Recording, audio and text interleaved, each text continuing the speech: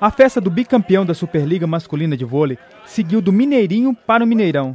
Jogadores, comissão técnica e diretoria foram homenageados antes do clássico decisivo do Campeonato Mineiro de Futebol. O Sada Cruzeiro recebeu o troféu Globo Minas especial pelas conquistas da temporada 2013-2014. Ao capitão William, restou erguer mais uma taça no dia. Vocês não se cansam de ganhar troféus, não?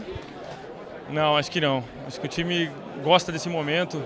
É, e por sorte e muito trabalho a gente está conseguindo levantar bastante taça. Espero que ainda venha mais uma esse ano, né? A coisa que não cansa nessa vida é levantar troféu. Nosso time vem numa sequência boa, quatro anos com 15 campeonatos e 12 títulos. Quem estiver cansado pode ir embora. Mas a farra não parou por aí. Da zona mista para o gramado, foi a vez de mais uma volta olímpica e mais aplausos do torcedor.